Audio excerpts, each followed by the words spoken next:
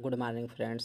चलिए आज की इस वीडियो में हम बात करेंगे पहचान पत्र, वोटर कार्ड के बारे में। इसको आप किस तरीके से डाउनलोड कर सकते हैं या इसमें अगर आपको करेक्शन करना है, कुछ सुधार करना है तो आप अपने मोबाइल से किस तरीके से करेंगे।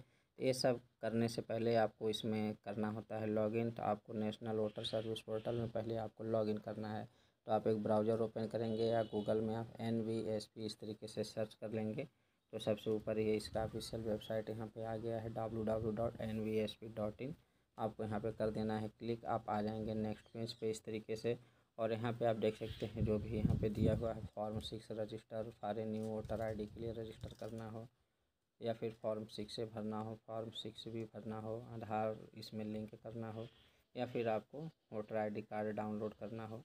ये सब प्रक्रिया करने के लिए आपको सबसे पहले यहाँ पे लॉगिन और रजिस्टर करना होता है। तो आज हम आपको इसमें रजिस्टर या लॉगिन किस तरीके से करना है, इसके बारे में जानकारी देंगे।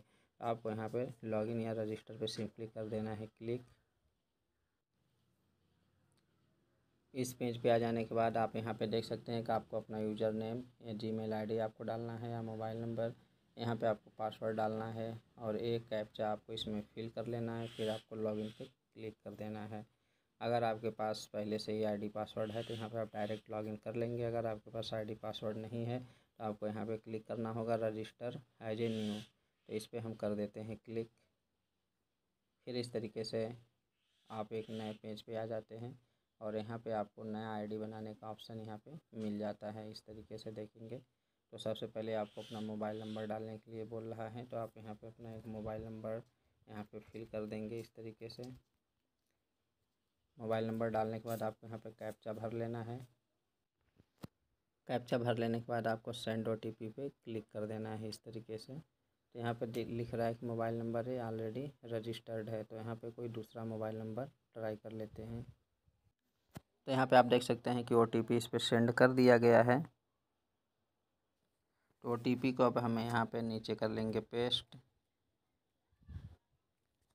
इस तरीके से और फिर यहाँ पे हम नीचे आके verify O T P simply कर देंगे क्लिक तो यहाँ पे आप देख सकते हैं किस तरीके से पेज ओपन हो जाता है।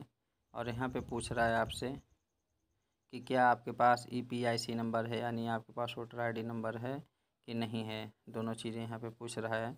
अगर आपके पास वोटर आईडी नंबर है तो यहाँ पर आप टिक करेंगे। और अगर आपके पास वोटर आईडी नंबर नहीं है तो यहाँ पे टिक रहने देंगे।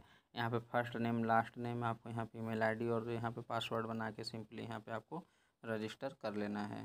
तो चलिए मैं डेटा फिल कर लेता हूँ। अगर आपके पास पहचान पत्र है तो इस पर अगर आप टिक करते हैं तो यहाँ पे आपको केवल पहचान पत्र का नंबर डाल देना है, वोटर आईडी का नंबर, यहाँ पे ईमेल डाल देना है, यहाँ पे फिर पासवर्ड डाल के आपको यहाँ से रजिस्टर कर लेना है। अगर आपके पास ई नंबर यानी वोटर कार्ड या पहचान पत्र नहीं है तो यहाँ पे आपको ये डेटा फिल कर लेना है।